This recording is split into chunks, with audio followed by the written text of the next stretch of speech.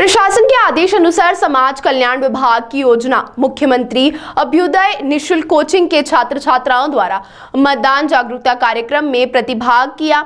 चुनाव का पर्व, देश का गर्व स्लोगन के साथ अभ्युदय के छात्रों ने डाइट से लेकर वीर विनय चौराहे तक रैली निकाली गई। वीर विनय पर छात्रों द्वारा मतदान जागरूकता से संबंधित रंगोली बनाया, बनाई गई। इसके उपरांत छात्रों द्वारा भाषण, कविता, नाटक, नारे के माध्यम से लोगों को जागरूक किया गया। वही आपको बता दें, अभ्युदय के छात्रों द्वारा, हस्ताक्षर के द्वारा शपथ दिलाने का कार्य भी किया गया। वीर विनय से चौक तक छात्रों ने डोर टू डोर जाकर लोगों को शत प्रतिशत वोट करने के लिए प्रेरित किया।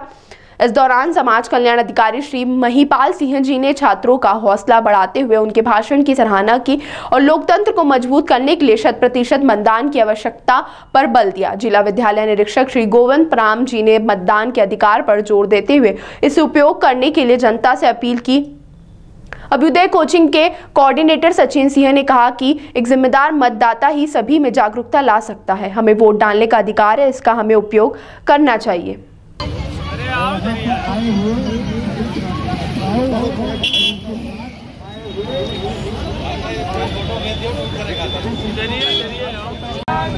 आन शान से छापो छापो और